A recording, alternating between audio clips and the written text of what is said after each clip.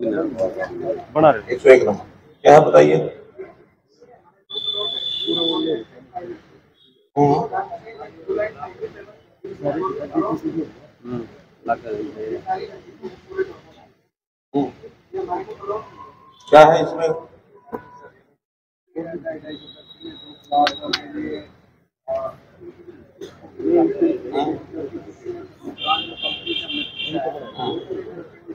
रही है।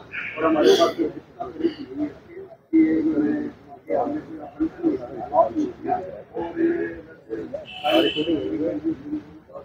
एग्रीमेंट हुआ हुआ तो क्या रसीद है आपके पास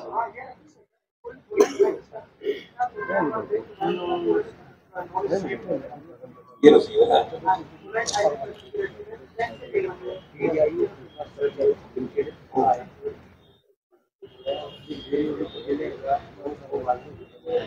नहीं अच्छा रेरा क्यों लेगा जब एग्रीमेंट है रेरा तो तब लेता है कि जब कोई झगड़ा और पड़ जाए ये तो कोई झगड़ा ही नहीं है। ये ये, ये तो कोई फ्लैट बना नहीं है अभी तो केवल केवल ज़मीन का प्लॉट का मामला है। प्लॉट का मामला है प्लॉट में रेरा नहीं आएगा। रेरा तो जो बिल्डर बिल्डिंग बनाता है फिर अलॉटमेंट ना हो या अलॉटमेंट हो गई कमी रह जाए रेरा तब शुरू होता है। ये तो एक एग्रीमेंट का जो सिविल डिस्प्यूट है।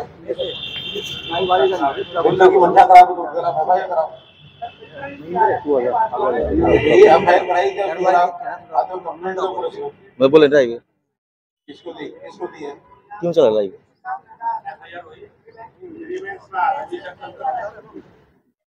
पुलिस एक्शन कराओ उसके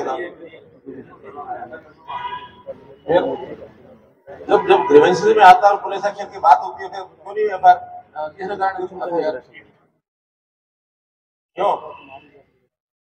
नहीं, वैसे डीटीपी का भी काम कहाँ है। अब तो डीटीपी का काम नहीं है।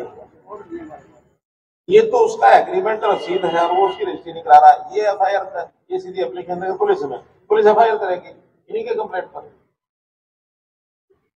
डीटीपी का कोई काम नहीं है इसमें।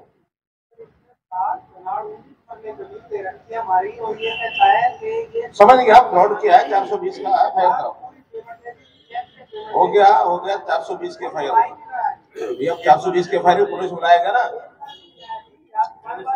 अरे, छोड़ो अब अब आपको कुछ नहीं करना। आपने एक एप्लीकेशन पुलिस को दे दो। एसपी को बोल दो इनकी एफ़ करें, और उसको बिल्डर को बुलाएँगे, और एसपी बुलाएगा, ये नहीं बुलाएँगे वरना आप बुलाएँगे। एसपी मारेगा, चार डंडे अपने आप आएँगे। कैसे नहीं आएँगे? नहीं आएँगे। एसपी साहब बोले को।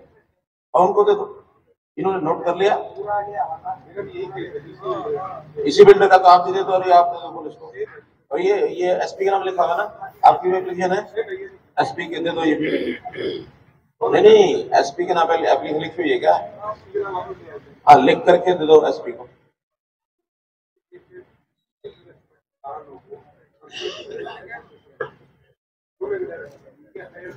फिर वही बात है कोई नहीं कराएगा। आप एप्लीकेशन दोगे तब मैं होगा अब तो अब मैं उसके बाद एसपी को देख लूँगा मैं।